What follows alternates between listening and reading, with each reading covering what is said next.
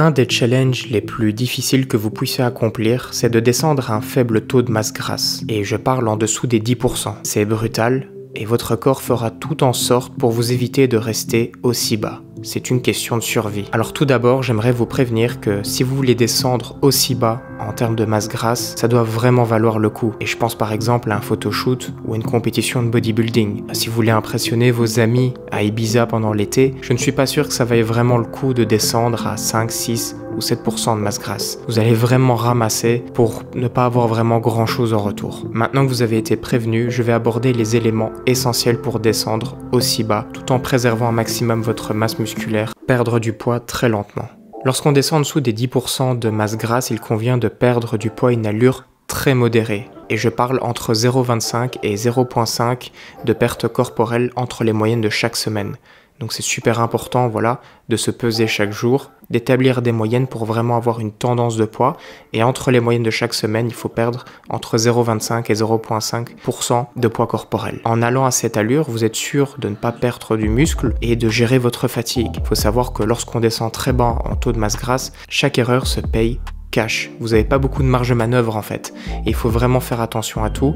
Et vous ne pouvez pas perdre du poids aussi vite que si vous étiez en pleine prise de masse à 15-20% de masse grasse. Là, vous pouvez perdre du poids beaucoup plus rapidement. Ici, c'est absolument pas le cas.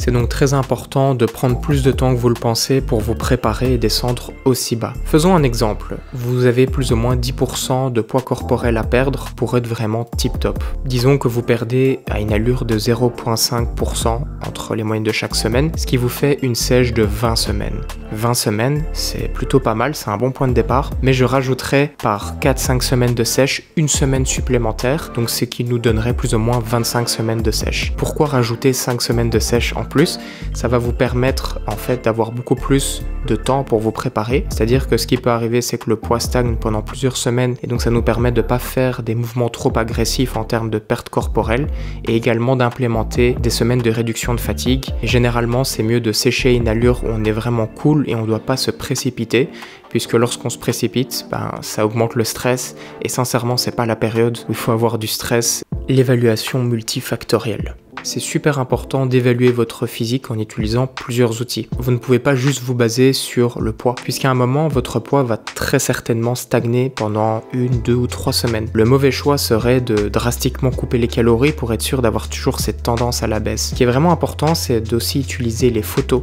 de progression qui vont vous indiquer si vous êtes sur la bonne direction. Et donc, c'est vraiment arrivé au cours de ma sèche où je stagnais plus ou moins à 75,5, 76 kg pendant deux, trois semaines, mais mes photos de progression indiquait quelque chose d'assez positif. Il y avait des lignes qui continuaient à se creuser, mon physique bougeait dans la bonne direction. Donc si là j'avais continué à couper les calories, j'aurais juste dégradé mon physique et j'aurais ben, accumulé beaucoup trop de fatigue. Et donc c'est ça, c'est une évaluation multifactorielle. On utilise le poids en combinaison des photos de progression et en combinaison également de ces mensurations. Donc le tour de taille continue à, diminuer.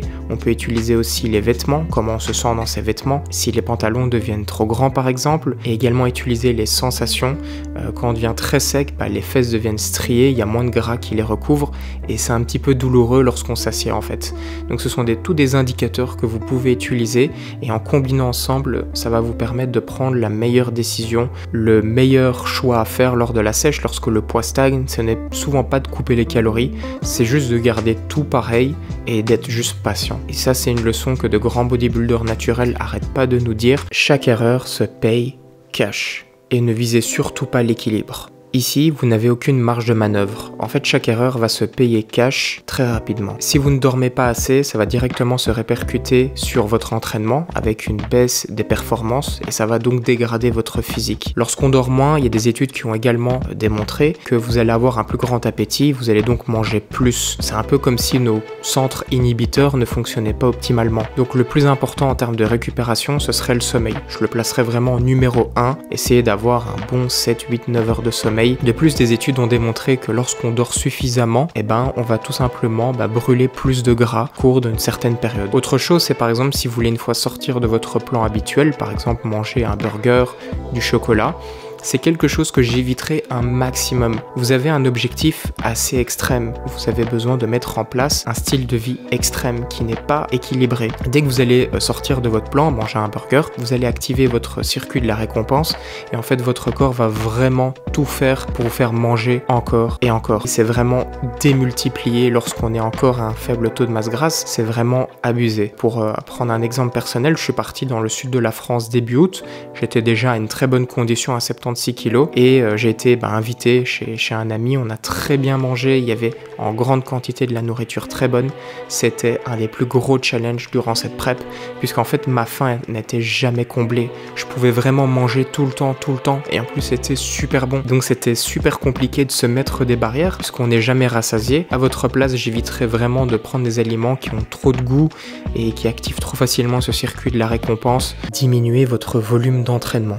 Vous avez moins de capacité de récupération, il fait donc sens de diminuer son volume d'entraînement. Et donc ça arrive très souvent que plein de bodybuilders naturels diminuent leur volume au cours de la sèche. Généralement, on diminue le volume d'un cinquième par rapport à ce que vous avez l'habitude de faire juste avant la sèche. Pour moi concrètement, j'ai diminué d'une ou deux séries par muscle par semaine bah, mon volume d'entraînement et ça a été vraiment un super bon choix. Mes performances ont quand même été diminuées, mais je pense sincèrement que si j'avais gardé mon volume initial de début de sèche, ça aurait été super compliqué au niveau de la fatigue, ça se serait accumulé beaucoup trop rapidement avec une dégradation encore plus forte euh, des performances. Pour donner un ordre d'idée, je faisais plus ou moins par entraînement 4 euh, séries de pec, 5-6 séries de dos maximum, 4 séries de quadriceps, 3-4 séries d'ischio, tout ça comptait plus ou moins deux fois par semaine. Implémenter des refeeds. Comme déjà expliqué, un refeed est en fait deux jours minimum consécutif, vous allez augmenter exclusivement les glucides pour manger plus ou moins à maintenance, voire en léger surplus. Alors physiologiquement parlant, ça n'a pas vraiment un effet, mais c'est plutôt psychologiquement parlant que ce qui va se passer, c'est que ça va vous donner une bouffée d'air. Ça va vous faire du bien un petit peu de manger plus et vous pourrez coupler ça aussi avec une réduction de l'intensité et du volume d'entraînement pour aider encore plus à une certaine récupération. Autre chose, c'est que le refeed pourrait être également intéressant pour mieux évaluer son physique. Lorsqu'on descend vraiment très bas en termes de masse grasse, on commence à faire de la rétention d'eau, il y a beaucoup d'inflammation, de la fatigue qui s'accumule et donc en augmentant les glucides, on va un petit peu dissiper tout ce brouillard. Donc ça va nous permettre d'évaluer notre physique encore mieux puisqu'en fait on va vraiment se débarrasser de toute cette rétention d'eau, cette inflammation et donc généralement après le refeed ce qui se passe c'est qu'on a vraiment des nouveaux poids bas qui arrivent puisqu'on a vraiment éliminé ce trop plein d'eau qu'on a euh, dans notre physique et donc c'est exactement ce qu'Alberto Nunez discutait que cette implémentation des refeeds à intervalles réguliers permet vraiment de mieux évaluer le physique donc ce serait plutôt pour cet aspect là que j'implémenterais des refeeds euh, malgré tout tous les 5 à 6 semaines je ferai quand même une semaine où on remange un petit peu plus avec une diminution de l'intensité euh, de l'entraînement et du volume pour aider une certaine récupération et de pouvoir tenir sur le long terme. Ne pas rester écorché trop longtemps. Chaque semaine que vous passez en dessous des 10% de masse grasse, eh ben ça va devenir de plus en plus compliqué au fil des semaines. Votre santé se dégrade, vous n'êtes pas dans un équilibre psychologique, physiologique, Bon, faut pas oublier aussi l'aspect de l'épanouissement personnel. Je pense que beaucoup de gens le font aussi pour un certain épanouissement. C'est très bien. Il faut essayer que ce soit le moins invasif possible. C'est-à-dire que vous arrivez à votre objectif, une fois que c'est fait, vous en ressortez le plus vite possible. On ne veut pas rester vraiment à faible taux de masse grasse. Ça n'a d'intérêt que pour un court instant. Voilà, pour faire une compétition, un photoshoot, pour faire votre euh, week-end de folie à Ibiza, mais après ça, c'est fini.